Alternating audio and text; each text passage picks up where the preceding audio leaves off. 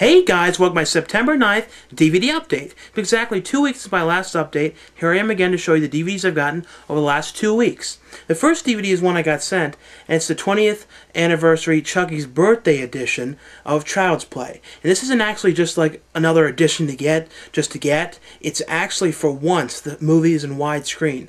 The old um, MGM DVD that came out when DVDs were relatively new, I think it was at least 99, maybe 2000, probably about 99, 98 maybe, was in full screen and there has not been a reissue of anything since. And this looks really good.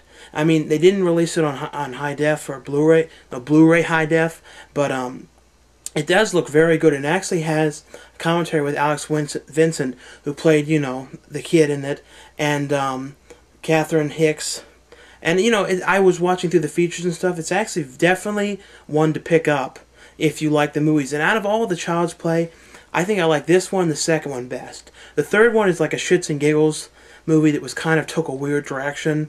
And then after that, Bride of Chucky was alright. I thought it was pretty good, but Seed of Chucky took was good and all, but it took it to a more comical level. And you know, with these, they at least had a creepy level to them. And now they're doing the remake of these. And I don't know who else could play Chucky, Chucky, but Brad Dourif. But of course, they're you know replacing him, and they're apparently talking about. I don't know who they said is going to be Chucky. They should just have him do the voice again because I mean it's just a voice. They could always have somebody else in the beginning or something. Another one that I got, and I was waiting for this. This came out maybe a month ago, but it took forever for to get me to get it for some reason this time. It's Are You Afraid of the Dark? The last complete season. So last season is season seven, and as you know, this is the newer version of newer series of Are You Afraid of the Dark. They did, I think, five of the original, and then the show went off the air for like three or four years. Then they brought it back with all the kids replaced, except for um, that Daniel DeSanto, that one who was the younger brother who came on by like season three of the original one. But the one thing that was cool about this season was they had one episode where all the kids acted in it. Like for once, they actually took the you know the ones at the campfire and actually put them in an episode, which they never did with the original series. And they also brought back the older brother, and he acted in this. And he had, I think now he's like a news weatherman or something for the Canadian news or something. But um, the, these the episodes in this season, a lot of them were not that. I mean, some of them were good, some of them were just all right. I think this show kind of went downhill when they brought it back. It, it, some of them were all right. The music always had, for the most part, they used that cool like like out of date music. It was even slightly out of date when they used it in the '90s. This like 80ish style, cool synth music, which always made the show.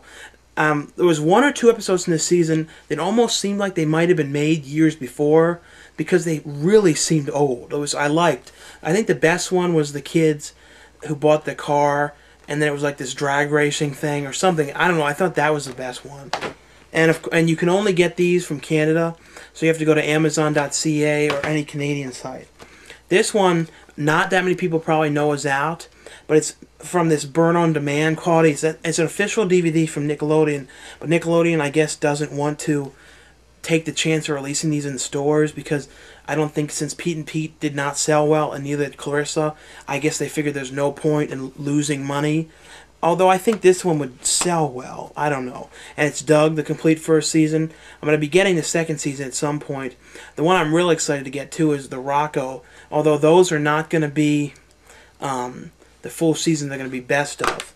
And basically what these are is they're DVD-R discs, which you could like make, most people like make themselves, the blue on the bottom but they they seem exactly the same as a regular DVD. They're, the picture quality is good. They don't have any like burn-in thing that says Nick Rewind or anything weird.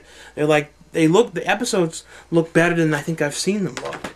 So I think they're probably from the master tapes that Nick's I mean gave to um, Amazon. Basically, what they do is when you order it, Amazon burns the discs, and I think people can even sell their films to this type of thing, um, and sell them through Amazon. The next one I got, this is one I, I looked at, I think, and it was like $25 at first, and now it came like reissued, and I think it, I got it at Walmart for $9.99. It's called Grizzly Park, and I really like this a lot, and it's from um, American World Pictures, one of the distributors, and I realized this is one of the companies that's going to be internationally distributing the movie that I did with Synthetic Cinema Banshee. So definitely, whenever Banshee comes out, I'll let you all know. But this movie was very, I really liked this. It was about these kids that went out on, I guess it's these kids that were sort of like screw ups and they went to jail and they got off, but like off of the crime, but they said you have to go out into this wilderness survival thing or and learn. It's like one of those things they do to these like they weren't really kids though. They were more like 20 something and up and they make them go out in the woods and camp. And i guess they were supposed to like make them learn teamwork or something. And one thing you notice is there's a lot of people in this you're gonna you recognize from other things. It's not like people you would never seen before. They even had that one old guy who was like in everything. When you see him you're gonna be like you're not you're not even going to believe it because he was like he's in everything you've seen. Like this character actor who's been in like at least 400 movies or something. But this is about these kids and they encounter this killer bear. And there's one scene when they're playing this really cool like kiddish like song, sort of like almost like a Raffi kind of song. When they're all like getting out of the van, meeting up for the first time and ready to go out camping. I don't know. Definitely, whoever did this movie, you did a very good job, and you got a, a true thumbs up. And I definitely would like to see more of movies from you, and maybe even a Grizzly Park 2. Well, one can hope. The next one I got is Dirty Jobs with Mike Rowe Collection 3. And I know some people, I don't know if people like the show or not. I always liked it. I thought, though, the jobs got less dirty as they went along. For some reason, like the newer ones are not as disgusting as they were in the beginning. Because I'm guessing they're really running out of the disgusting ones. Unless, like, because in the beginning he was doing real disgusting stuff. Some of these were just like you know stereotypical, like you know cleaning a bridge and stuff. I mean, it's dirt like a dirty job in a way, but you know, like nothing like real severe about it. The next one I got, and I'll never watch again because well, as I mentioned before, my dog Max passed away, and it was after 11 years. And I I watched this movie like the day before it happened or something, and I don't know, it just depressed me. So I don't even want to talk about it. It's called The Promotion, but it's like I'm, I sort of just want to hide it behind the wall and not think about it. The next one I got is the Three Stooges Collection, Volume Three, from 1940 to 40, 1940 to 1942, and I have the other two ones. This season didn't have as many of my favorite ones. I'm waiting for the next one because there's there's all these episodes that they've not put on DVD from the later ones. This one has good ones, but there's ones like when they break into a safe and they eat this bite down this thing and break their tooth and Curly has to go to the dentist and he's walking up and down on the top bunk going my tooth oh my tooth some of those episodes in the later later years of it were hilarious but definitely, this is definitely something to pick up, though, if you like the Three Stooges. And they the DVDs are cleaned up so well, and they look really like I don't know. They they I think they turned them into high definition to the at least because they remastered in that, so they really do look good. The next one I got, and I have the widescreen DVD from England of this on a region free disc, but I wanted an American version. Although this version is not in widescreen and I don't know why Disney is not just putting everything in widescreen now because I mean everybody now has what I mean at least most people getting widescreen TVs or will have them in the next like 4 years. So it makes sense to go to that. And they it's shipwrecked which is one of my favorite movies. And I always wondered like I, I always always think maybe it was dubbed over. It's not though.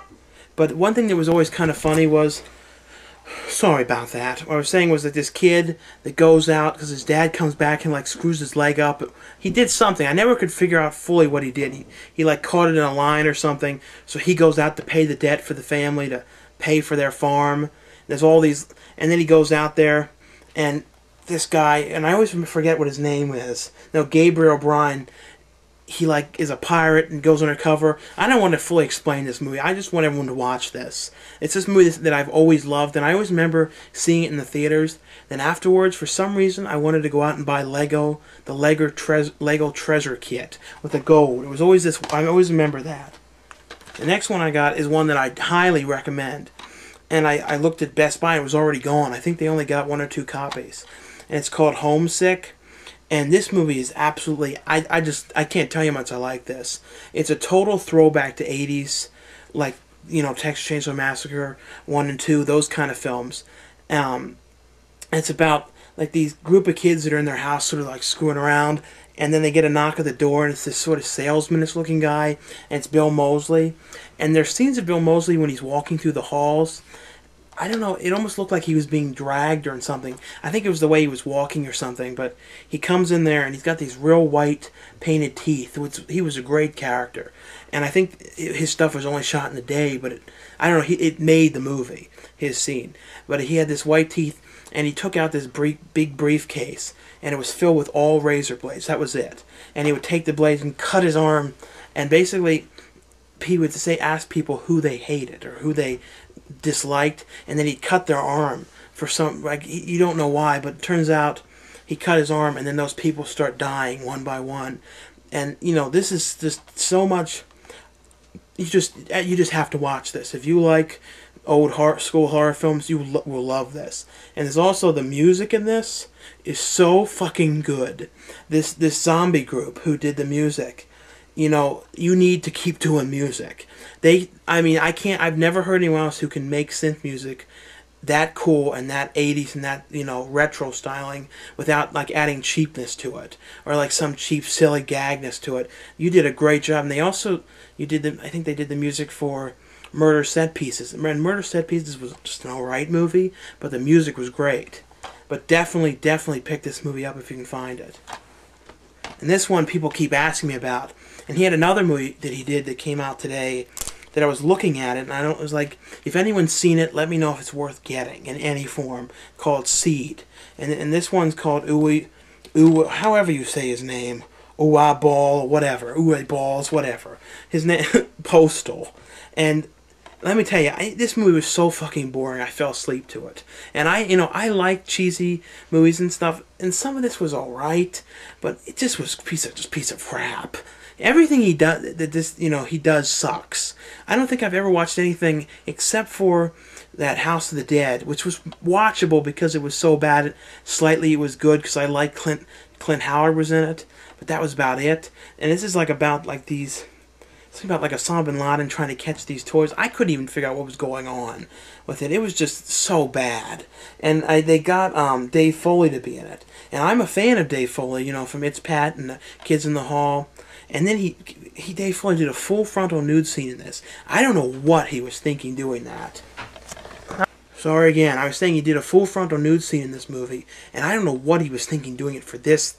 I mean, it, it's not film bad or anything, it's just boring as shit and it's there's nothing there's nothing really special or like must watch about this. And I mean, I don't know why he keeps making these fucking video game movies. I don't, I don't know. It just I don't even play these video games. It's just it's getting tiresome. The next one I got was and this was I mean people said that it was not as good and and I was hoping it would be interesting and it really wasn't. And it's called Where in the World is Osama bin Laden? I don't know. It's all right. It's like about them trying him Morgan Spurlock, who did Super Size Me, who I like. What's a movie I liked, and he also did 30 Days, which is a really good show when they take one person and put him in like a different job or a different lifestyle for 30 days. This is alright. I mean, there's really not much to say about it. Uh, there really isn't. And these two I got because I like these, those big 50 movie sets. It's from Pendulum Pictures. There's two of them. I got Mortuary of Madness and Catacombs of Terror, and these are these really, really, really independent movies. And like some of them are like they're like most of them like these so bad they're good movies. And this one has um, the two movies that the um, the one guy who's the producer of the synthetic cinema movies produced Trees and Trees 2. So if you want to check out this one, they're on this set. But I think the I mean I watched through some of these and I thought they were all right and I think most of these movies come from Brain damaged Films. I can't exactly figure out how, how it works. And one of them, and I don't know if the company realized this, but in one of them, like, it has different, it has like copyrighted music or something. I couldn't figure out what was going on because I watched, um, I have an older set of this, and the same movie is on the old set. It's like something about, um, I don't, what was it called? like bikini girls or something on some kind of a planet or something with and, and like Bimbo's BC or something like that, and it has totally different music. I don't think it, it was copyrighted. I think it was maybe music that they made that was in something else. Maybe it's public domain, but the music was di- like different music tracks on both the versions, which was kind of weird. And these are some cheap ones that I got, like dollar DVDs. Got this Alfred Hitchcock four pack one, which Jamaica Inn, Sabotage, 39 Steps, Easy Virtue, and this thing I don't even know what it is. The Price of Eden. I just I just buy these dollar things, and this is one uh, an asylum movie. Um, Leigh Scott's Dragon. I don't know anything about these. I got some five dollar ones. I'll show you the two things, the three things I got today. I got Spawn for five dollars, and one thing that's funny about this movie, and I don't think anyone even remembers, it was PG thirteen when it came out, and now and they made the R rated one. It's almost like they changed their mind later. That was the only way they wanted it to be seen again. And Vampire in Brooklyn, which was a movie that um, Wes Craven directed, which most people sort of forgot about, with Eddie Murphy as this vampire in Brooklyn, and he was I think he was playing multiple characters in it. And I, and I didn't get to watch this one. I'm waiting to. What a butt! And it's Phantasm Oblivion. So it's Phantasm for Oblivion. I don't think anyone's ever fucking called when I did this before. It's like this is like an absolute first. This happens a lot when we do the Don Murph videos and a lot when we do the death shows. We have to pretend like, oh, Mr. Ernstuzi, Mr. This, answer the phone, whatever, we play it off. But I can't do anything now. and um, this one I got, and it's another one of these Disney ones. And I, I think I might have watched this as a kid. It's called Treasures of the tre- no Treasure of Matacumbe, and it has this sort of like weird, course, odd like song image and like Treasure of Matacumbe. I know, very weird. And the ones I got today was this one I was waiting to see for a while, and I didn't get to watch these because I just bought these about two hours ago, and it's Jamie Kennedy predict. I think he's host this or something. It's called Heckler, and it's about all these comics and actors and stuff who's always like get their stuff shit on. And I think Carrot Top's in it, talking about of the Board and all these people that like got duped on for their problem for their movies and what they've done, the choices they made with stuff. And for some reason, I always liked Chairman of the Board for some reason. I don't know know what my problem was, but I always thought it was slightly funny in like a in like a strange way and I got another one of these came out. And I don't even think this was supposed to come out today. I think this is out the wrong date. I, am not sure though. It's out when the Chipmunks go to the movies. Daytona Jones and the Pearl of Wisdom. It has and it also has um, Batmunk and Robomunk. I don't think I have these ones yet. I don't remember. I have all of them on tape though. And this one I got today because um, my parents wanted to watch it too.